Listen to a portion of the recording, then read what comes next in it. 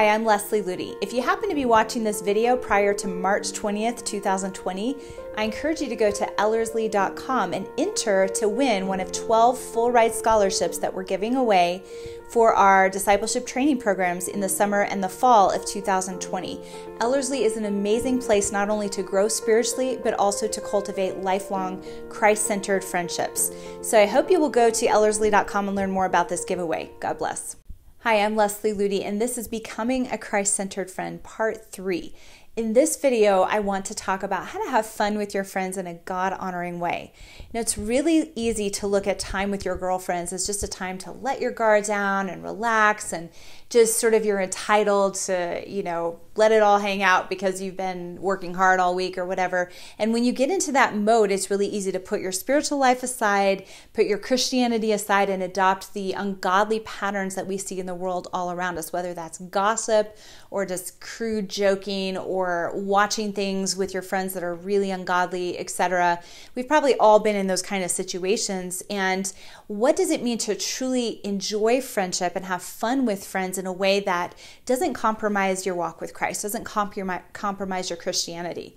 I remember being at a bridal shower one time with a bunch of women who were trying to, you know, celebrate the fact that this girl was about to get married, but all they really did the whole night was sit around and gossip and bash their husbands and drool over Hollywood celebrities. So it was a very a shallow, ungodly way to spend the evening. And I found it really ironic that it was a group of Christian women trying to celebrate and encourage someone who was about to step into marriage. There are so many better ways to spend time with friends in a God honoring way. And a couple of the ones that I want to share with you have really impacted me as I've spent time with girlfriends because I've been on both sides of the spectrum. I've been in groups of, of women, or when I was younger, you know, in high school, young adult years, where it was really all centered around gossip and trivial, trivial idle conversation. And I usually would walk away from those situations not feeling very uplifted, usually feeling kind of slimed, like I needed to recover spiritually from being in that situation.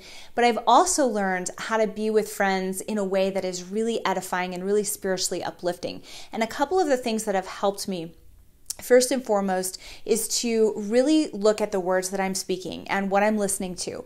Not to just dive into gossip because gossip is what's normal to do with girlfriends, but to guard our words and to realize that every idle word we speak, Jesus says, we will give account of it in the day of judgment. So this isn't something to be taken lightly. We need to be taking it seriously and saying, Am I speaking words of life? Am I speaking words that agree with God's reality? So, avoiding gossip and avoiding frivolous, idle talk. And so, what do you talk about if you're not going to gossip or if you're not going to talk about idle things?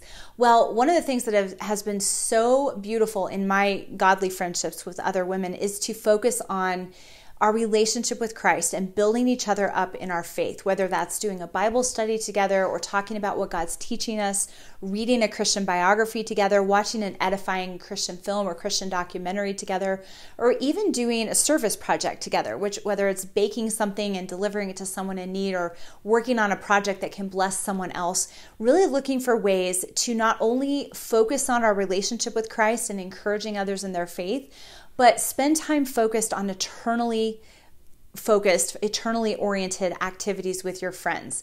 I have so enjoyed meeting with a couple of my friends on a weekly basis, and we usually go through a Christian biography during the week. And then when we meet together, we talk about what we're learning from this person's life and what about their walk with God really inspired us. Something that simple, you would think, well, that's not the same as watching a chick flick. You know, that's not the same as binge watching a TV show with your friends. It's not the same, but it's so much more edifying.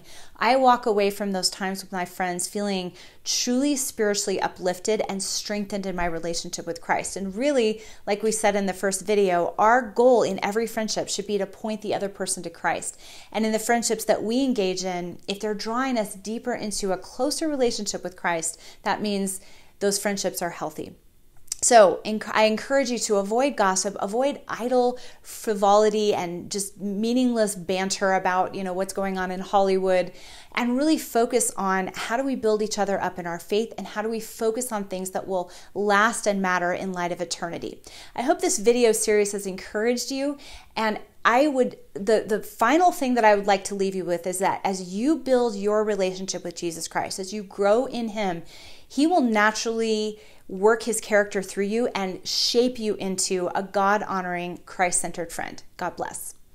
Remember, if you're seeing this video before March 20th, you can still enter to win one of our 12 full ride scholarships that we're giving away right now to our 2020 summer and fall Ellerslie discipleship training programs here in Colorado. It's an amazing place to grow deeper in your walk with Christ and to build lifelong God honoring friendships. Go to Ellerslie.com to learn more. God bless.